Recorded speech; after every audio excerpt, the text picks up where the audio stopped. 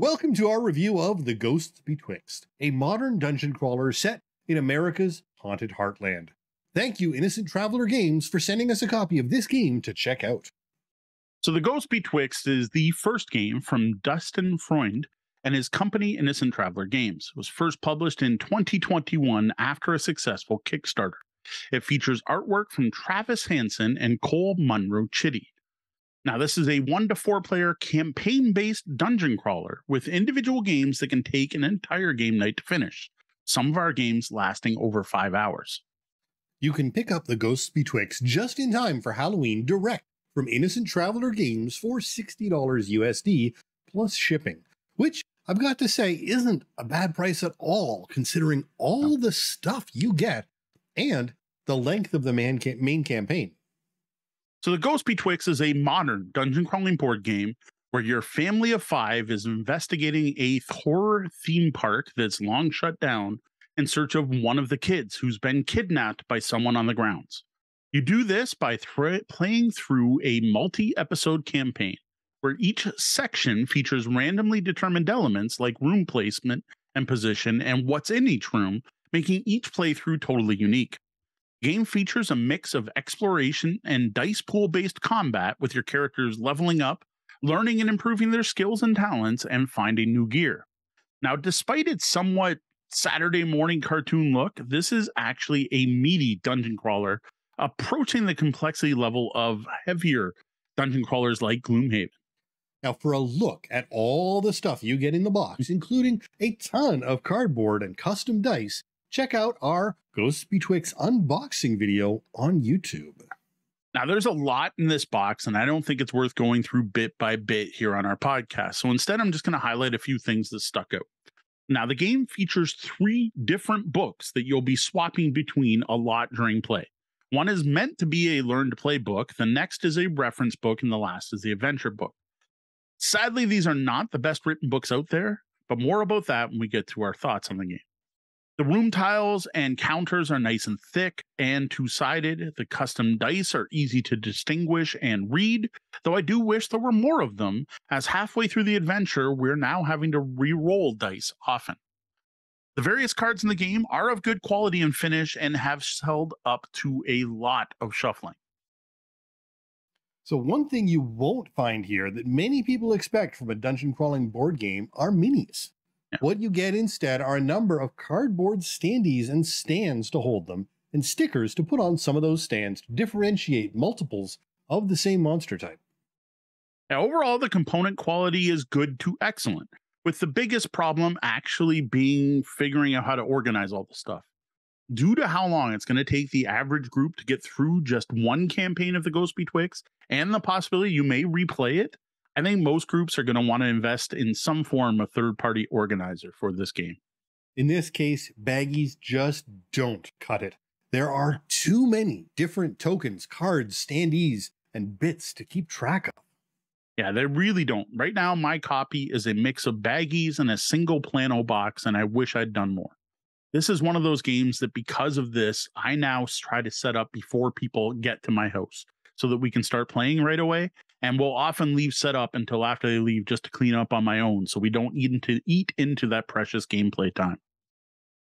Now, before we move on, I want to point out that during this review, I am going to be mentioning some things going forward that some people might consider spoilers. Now, the thing is, I don't think these things should be spoilers.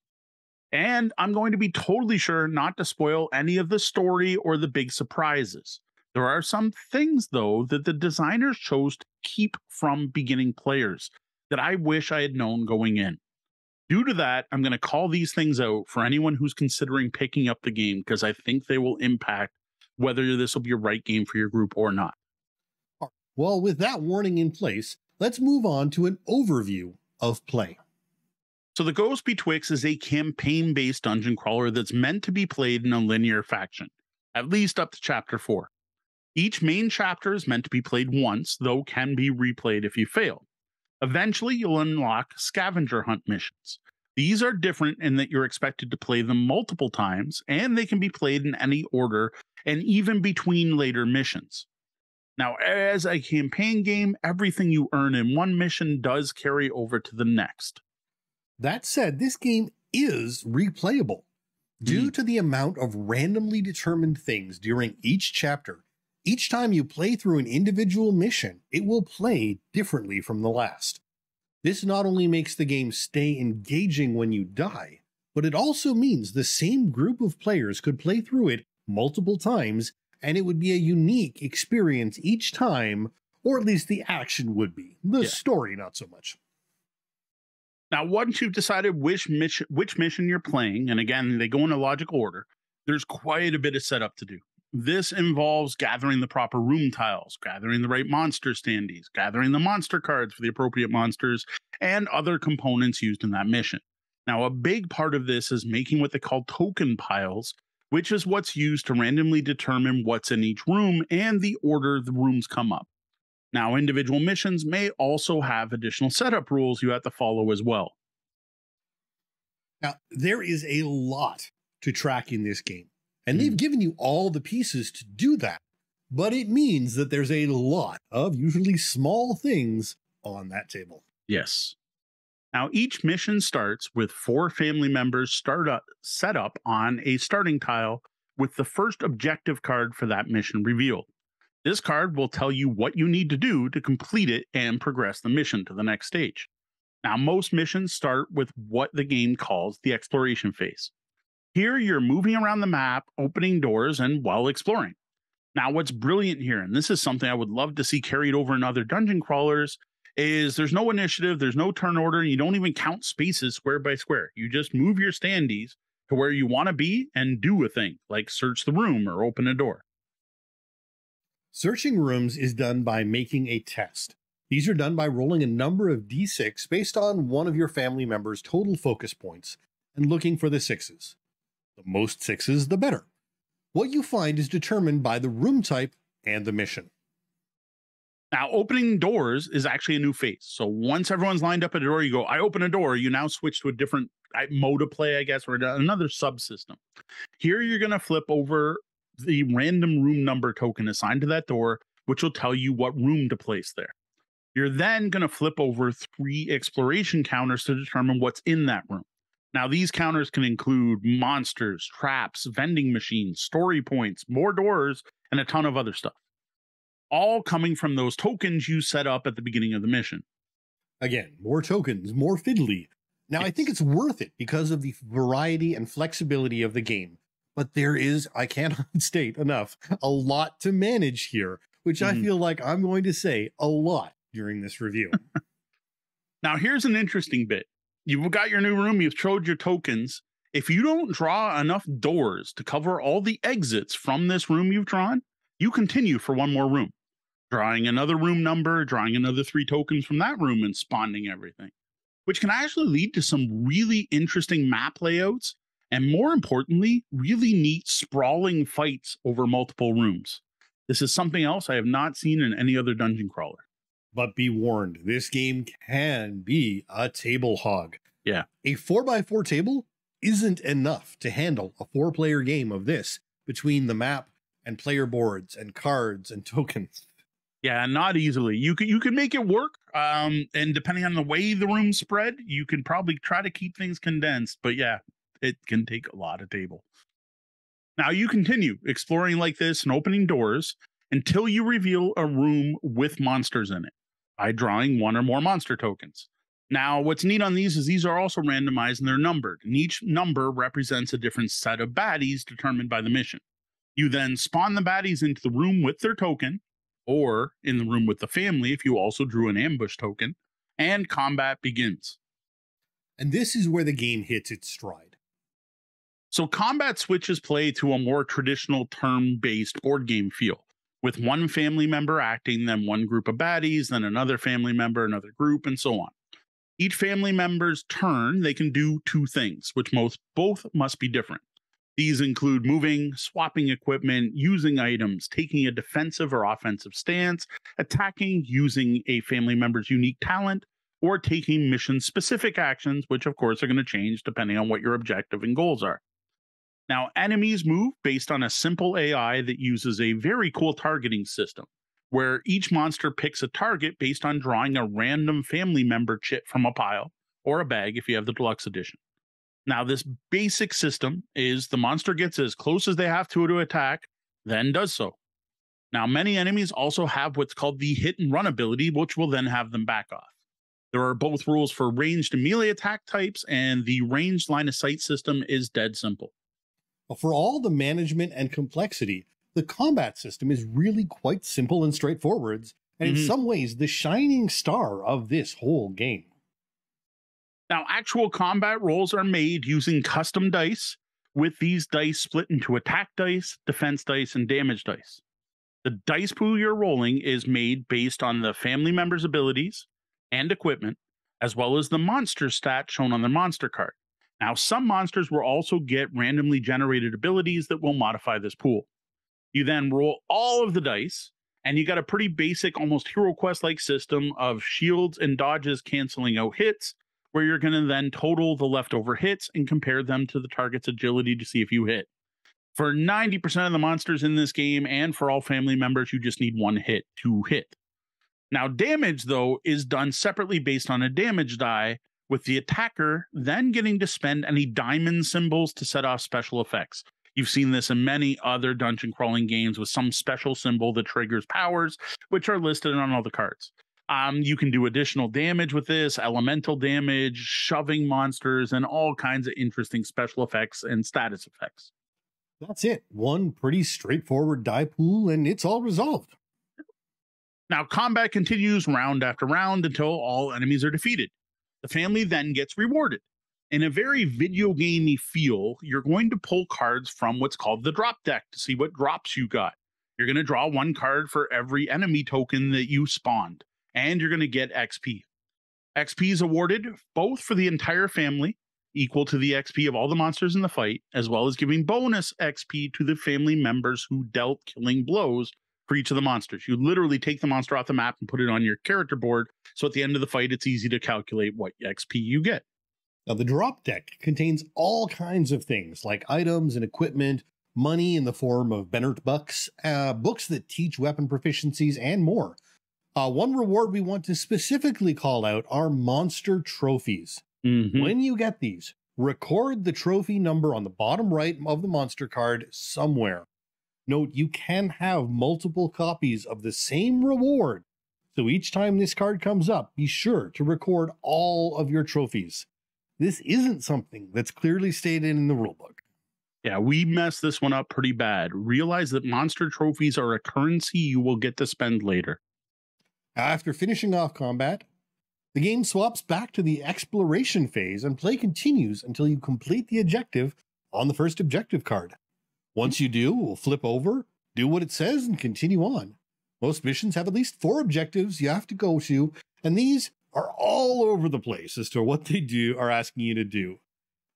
Common repeating objectives include revealing certain tokens when exploring, finishing set combats, and opening specific doors, but there's a whole lot more. Oh, yeah. Now, once you complete the final mission objective, you have complete, uh, completed that mission and get some big rewards, usually in the form of XP, based on how much health the entire family has left and draws from the rare equipment decks. After that, everyone earns XP and you can level up. Now, each party member has 10 levels they can achieve while playing through the Ghost Betwixt, and each level requires more XP to reach. This is going to be really familiar for most RPG players, especially traditional RPGs. Now, the interesting thing here, though, is the XP is spent when achieving a new level. So when you level up, you actually spend your XP to get to that level. Now, at each level, you're going to unlock weapon proficiencies, which uh, quickly just give you rerolls, uh, talents, as well as the ability to level up existing talents. Talents are the asymmetric part of this game. They are unique abilities that differ for each family member. For example, Joan, the mom, is good at healing, and Maddox loves firecrackers. Now, at each talent level, though, when you go to like level two talents, you're going to get two to pick from. And because of this, there are some really neat ways to customize each character so they suit your play style. Plus, gives you replayability because you could play through a second time and go with a totally different build for each of the characters.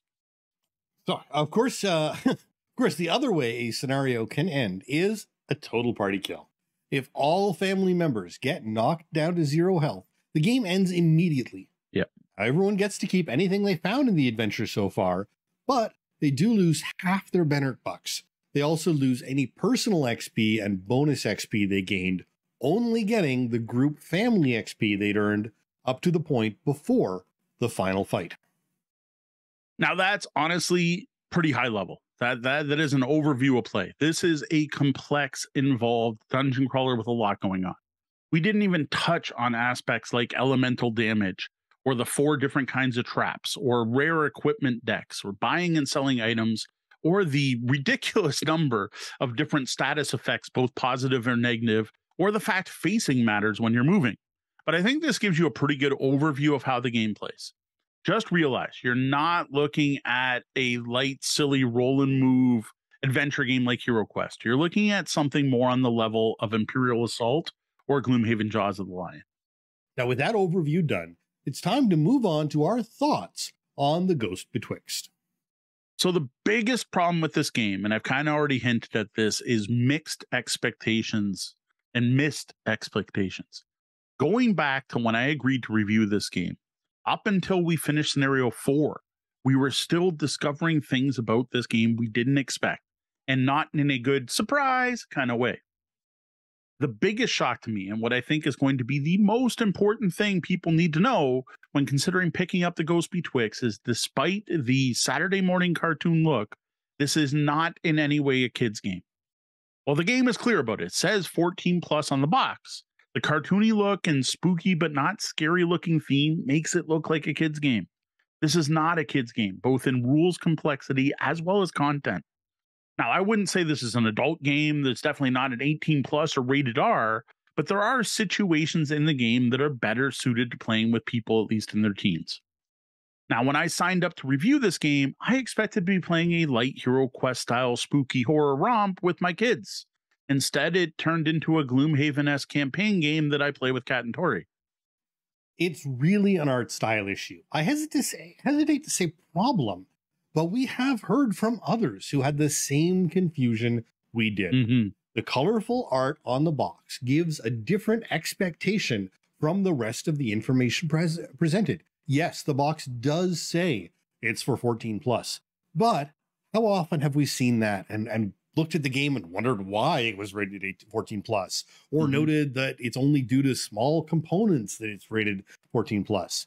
Now, I don't have a solution, but I do think that it's a concern from a marketing standpoint Mhm. for this product. Now, the next big shock for me was how much of this game the designers chose to hide from you from the start. I just, this confuses me.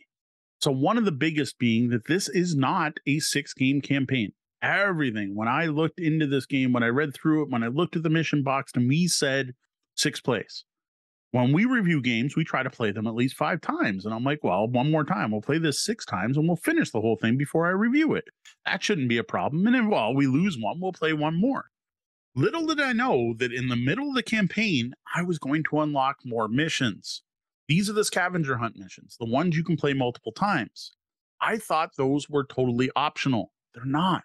With these in the game, you are looking at a minimum of nine games to finish the mission. And trust me, there's a good chance you're going to be replaying a couple anyway, even if you just try to play each once. Now, again, that's not really a bad thing. Actually, nine missions is better than six when you're looking at replayability and value for money. But it's a fact I didn't know that I was in for nine missions when I signed up. This is one of those things that most groups are going to love. More hmm. playability, yes, please. But combined with the unmatched expectation in what the game was, as mentioned before, it did make this tougher to review than expected. Yeah. Regulars listeners know we give games their chance. We don't play a game once or twice and then give superficial opinions. But that got tough for this game. Yeah. Now, sticking with things I wish I knew going in, there are other things in this game that just were oddly obfuscated. For example, the monster trophy rules. I don't understand why they couldn't present these right in the beginning of the book. If they want to hide what they did, they just had to say, hey, if you draw one of these, note this number somewhere. Don't worry about it for now. And note you can get it more than once. And then all they had to say is monster trophies are a currency you'll get to spend later. Just wait for it. Something like that. Like, why wasn't that in there? Instead, they tried to hide it like there was some cool surprise you were going to find later. Similarly, I think they they could have been way more clear about selling equipment. Like it's in the basic rules that you can sell for one third of the cost. That should have been mentioned that you won't be able to sell anything until you finish a specific mission, and then be very clear when you can. Or even better, if you wanted to hide it, don't mention I could sell anything. If they had never mentioned selling, I wouldn't be questioning how do I sell until it came up. I just would have never known. I would have been oh, cool. I can now sell things. And I also would have liked to have seen, don't you can't sell to a vending machine. Yes, I get it. That's not how vending machines work in reality, but I played enough games in my life that I can sell to vending machines, mostly video games, but trust me, Fallout Borderlands, and many more. I've sold plenty of items to video games. I just why did they hide this stuff? I, I find it frustrating. Yes, I realize there's slight spoilers here. Eventually, you get to sell stuff, but I don't think that's game breaking. And I wish I'd known when we sat down to play the first time. Unfortunately, the rulebook is filled with these kinds of ambiguities, and it really doesn't help that the rules are spread over three books. Mm-hmm. There are currently 40 threads in the rules section, Board Game Geek, filled with rules questions on the Ghost Betwixt. I'm sorry, but the designer stepping in and saying the rule is there, it's on page X, is great. But it shows how poorly organized things are by the number of times he's been required to step in and yeah. say, oh, but the rule is there on page X. Yeah, this game, uh, more so than many we played, could use a 2.0 version of all three books. Uh, personally, I think I'd combine the how to play book and the reference one into one or at least completely rewrite the onboarding book because it was terrible. It and most of the book was reference the other book. I it, it, this was not a good way to learn the game. It basically took us just playing and fumbling and looking and googling and board game geek surfing to be able to get through it all. And no, this is not a preview. We are not looking at a preview copy of the game. We are looking at the retail version of the game that you can buy in stores. So it's not just a the game wasn't done yet problem in this case I feel like we're sounding a bit like a broken record here, but many of the Kickstarter games we receive that are not supported by an established publisher are suffering not from concept or gameplay or, or mechanics, but from rulebooks. Yeah. And this one is no different. What is a solid and detailed dungeon crawler with character growth and intriguing map development and a fantastic combat system is hobbled by not one, but three books which confuse and leave the players unsure if they've made a mistake or if the rules are wrong or if they've missed something. Now, one more negative before we do give the Ghost Betwixt some redemption here. My final complaint, which again is an issue of mixed expectation, is the gameplay time. While our initial plays were long, like like way over the two hour time limit on the box, they did include a lot of time referencing rules and searching Board Game Geek and trying to figure things out. So I didn't complain about it too much. But the thing is, even once we got the rules down and everyone knew what they were doing, our games of the Ghost Betwixt were taking over four hours regularly. Now, I don't mind spending four hours on a single game, but to me, that's a different type of game that I want for a different type of game night. Now, the Ghost Betwixt has become a, a, a lifestyle game, an event game. It's the game we play. We get together and we play Ghost Betwixt. Heck, our last game, we even tried to play quickly. We're like, you know what? I want to do the review. I want it live before Halloween. Let's sit down and see if we can hammer through two. And we tried to play fast, and it just didn't work. Now, the biggest problem is yes, the combat is fantastic. Yes, it's the biggest part of the game, it's the draw of the game. But man, the combats can drag on. And the problem there is a whiff factor. With most of the damage dice having a zero side, one of them having more than one, and the amount of defense dice both monsters and family members have, there are just a lot of rounds where the dice get rolled and nothing happened. This can make a single fight take well over an hour to finish. And so far, it seems to be getting worse as the campaign goes on, as defenses on both sides are going up. Now, this is a tough one, as again, much of it has to do with those incorrect expectations set mm. early on. Yet at the same time, rulebook problems combined with the exploration and combat systems do stretch it out. Mm. It's hard to say if this is really a negative or not, and will really come down to your group and if they want to play a lifestyle game. Yeah, uh, that, that like yes, I just listed a ton of negatives, but like Sean just mentioned, most of these, actually pretty much all of them, except for that whiff factor and ambiguous rules, are a matter of mismatched expectations. They're not really bad things. And they wouldn't even be problems if I'd known about them ahead of time. If I knew I was signing up to play a heavy dungeon crawler that's going to be an epic game night experience every time we play, and it's going to take a minimum of nine games to finish, I probably wouldn't have complained at all. Okay, maybe a bit about the four hour game length, but I definitely wouldn't have this many complaints as I have. Because the thing is, we've actually enjoyed our plays of the Ghost Betwixt. This is a solid dungeon crawler with a unique theme. The story's been compelling. The system of exploring, opening doors, and combats actually works brilliantly. I've did enjoy the very predictable first end to scenario three reveal, which I think I, if any group surprised by that, I'd be shocked. But I liked the way that changed the game. And again, I don't want to spoil anything that way. I dig the new stuff we've unlocked, despite wishing it was kind of explained a little better earlier. And I admit the one game that did lead to a TPK was frustrating. And that night, we weren't feeling all too happy about Ghost Betwixt. We are all back at it two weeks later and replaying the same mission. And I got to say, it felt interesting and different due to the exploration system and the randomization. Replaying that mission was actually quite fun. Now, I only played the first session, and it was marred by rule confusion. Hmm. but I still walked away feeling positive about the game, if not the rule books. Yeah. I was interested. I wanted to play it right. I wanted to play it more. I just wanted to be more clear about certain aspects. So, this is a dungeon crawler that does some things right and better than others out on the market. The AI in this game is much simpler when compared to similar other complex dungeon crawlers. And I love the targeting system and the way monster attack cards make each individual monster in a group unique. Like you're fighting a set of wolves, but one has matted fur and another has has bad breath, and the last has a focused stare, and that changes how they all play. That's really cool. And unlike other games, we've never once argued over the way a monster would move or what it would do.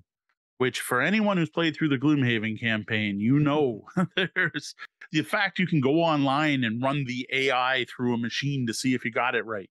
Heck, even at this point, I grew to love the facing system. And I'm like, what board game has a facing system for combat? But you know what? The joy of getting an additional or stepped up damage die when hitting someone from behind makes it worth those additional rules. Now, that said, the combat system is highly random and can be quite frustrating. If, if this is, really is the meat of the game, and it features the one thing I honestly hate in adventure games going all the way to RPGs. And that's when you roll a hit and it gets turned into a miss. I don't like games where I roll a success only for that to turn into a failure due to the results of other dice. Now, thankfully, this isn't an opposed roll system because I hate it even more in those where I see my result before seeing the other. But this happens often in the Ghost Betwixt. Now, I'm not talking about hits being canceled by shields, right? Like I'm used to that. I, play, I grew up playing Hero Quest, and, and the dodge system's fine too. But it's the fact that I get a awesome hit on and then roll a zero on my damage die and do nothing. I can roll five hits with the enemy rolling blanks on all their defense. It's a perfect roll for my character, and it means nothing if that damage die has a zero on it. Like, honestly, this is the one rule we have talked the most about house ruling that either you do a minimum one damage on a hit or that you can spend additional successes for damage. Whether it's like you have to spend two for one damage or you have to double what you needed to hit to do damage, but something. But raw, these rolls are just another whiff and they aren't fun. Now, as someone who plays a lot of XCOM, I guess I'm more used to whiffing and the struggles of randomization in combat. Uh, it's the painful part for me is the way it extends the length of the game. Yes. Not the fact that the whiffs are there. Now I gotta admit, if we do auto damage, the bad guys would be doing auto damage to us. Maybe the game would be too too dangerous. I don't know. I don't know if there's a proper fix, but we've been thinking about it. So overall, the Ghost Betwixt for us. This isn't necessarily going to be for every group. Hopefully, if you've listened to this, you won't have the problems we had. And this has been a roller coaster. But a lot of that had to do with the fact we didn't know what we were in for. And a lot of that, honestly, is the game's fault and the designer's fault and the rulebook's fault. Both the marketing for it and the way they hold back information on certain rules so as to keep them as surprises for later sets those wrong expectations. Really, the key with this game for anyone thinking of picking it up is knowing what you're in for. And that's why we're here right now. With the Ghost Betwixt, you are signing up for a long campaign game, a game that's going to take at least nine sessions. And I, would be really surprised if someone won every mission the first time they played it. You're probably going to want to do more. Plus, there's the whole fact that you can grind the um, scavenger hunt missions. You may want to do that. That might be necessary to win the finer fights. We haven't gotten that far.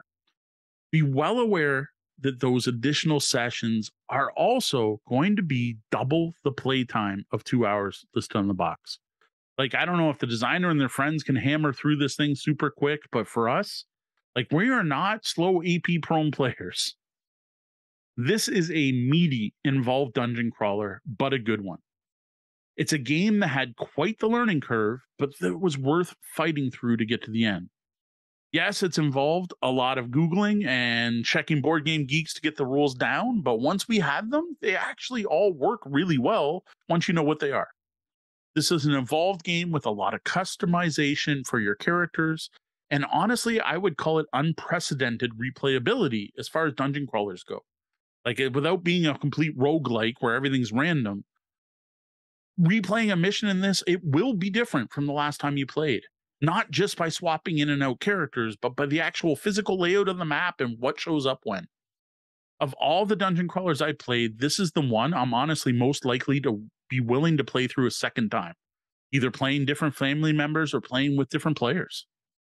But also be aware that the Board Game Geek forums will be your friend. Yes. Unless a second printing comes out or new rulebooks are added into the proposed chapter 2 for this game that is expected. Know that making sure you're playing right is not as easy as it should be. If you dig meaty campaign games that are going to challenge your group and take a long time to finish, you're going to want to check out the Ghosts Betwixt. Just realize what you're signing up for right from the start. And if you're the type of group who is happy to house rule things right away when it's not super clear, as opposed to the type who must play by the correct mm. rules, you might not even mind the rulebook issues. Now, I'll admit, when I'm reviewing a game, I want to play it by the raw, but I'll admit I'm just a raw gamer all the time, and I always want to know if I'm if I'm house rolling it, I want to at least know what the intended rules were first. Now, if you're looking for a light, fun dungeon crawler, something like a Hero Quest set in modern times, stay away. This is not the game for you and your group. The Ghosts Betwixt is not a light game, has quite the learning curve, and is not easy. This is a game for experienced gamers who want a deep, tactical dungeon romp. Now, if you're looking for a silly, cartoony horror themed games, perhaps for a Halloween game night, Ghosts Betwixt is also not a good choice. Despite what it might look like based on the cover and the artwork, this is in no way a kid's game and unless you've already unlocked the scavenger hunts, it doesn't even work as a one shot themed game night experience. Nothing about this game is Saturday morning cartoonish. Well, that's it for our review of The Ghosts Betwixt. If this seems like a game your group would enjoy, you still have time to order it now so you can start your game Halloween night. Now, in addition to this review, I also plan on writing up a written review of The Ghosts Betwixt, which you'll be able to find at tabletopbellhop.com once it's live. There, I plan in to get into a bit more detail about the game and how the various phases actually play and the actions you can take. And I'll also give you a better idea on if this game will be perfect for your group or if it's something you should stay away from.